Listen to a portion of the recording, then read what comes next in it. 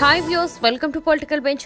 మీనమేషాలు సంప్రదింపులు తర్జన భర్జనల తర్వాత కాగల కార్యం ఏపీ గవర్నర్ హరిచందన్ తీర్చేశారు. జగన్ కలలు గన్న మూడు రాజధానులు సిఆర్డీఏ బిల్లుకు ఆమోదం తెలిపారు. అంతా చట్టబద్దమే దీంతో ఇప్పుడు విశాఖకు పరిపాలన రాజధాని తరలించడమే ఆలస్యం.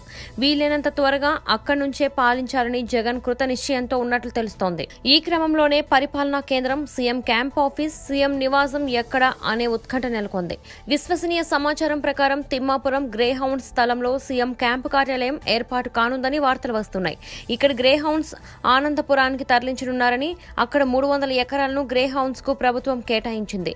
తిమ్మాపురంలో ఇప్పటికే స్టేట్ గెస్ట్ హౌస్ పేరుతో నిర్మాణాలకు ప్రభుత్వం అనుమతి ఇచ్చింది. ఇది సీఎం క్యాంపు కార్యాలయం అని అంటున్నారు. ఇక సీఎం నివాసం ఋషికొండపై ఏర్పాటు చేయాలని అధికార యంత్రాంగం భావిస్తోంది. కొండపై ప్రస్తుతం పర్యాటక శాఖ అతిథి గృహాలు ఉన్నాయి. కొండపైన నివాసం వాస్తు రాష్ట్ర అభివృద్ధికి మేలు అని భావిస్తున్నారు.